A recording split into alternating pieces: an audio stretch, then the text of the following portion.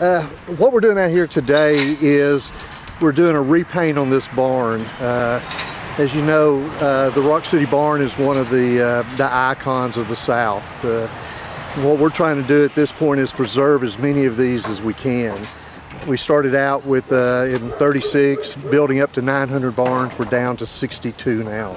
So any chance that we get to come out, paint and preserve, then that's what we're doing. Geographically, where are those 62 spread out? How many are in Uh, the majority of them are in Tennessee, Alabama, and uh, a couple in North Carolina. What they'll do is go in and scrape all the loose paint that they can get off of it. Uh, then they will come in. This particular one is just black and white.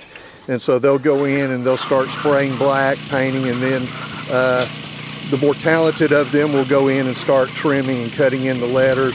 Then they'll fill all the letters in.